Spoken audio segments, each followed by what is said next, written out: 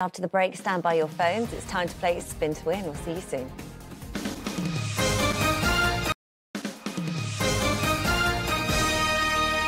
Made a good job of that. I have made a good job of that. Now, welcome back. If you were watching. now, whilst this Easter might feel a little bit different this year, you can still enjoy one very tasty traditional treat. Phil, should we just sort of chat and eat, or uh, or should we do some more telly?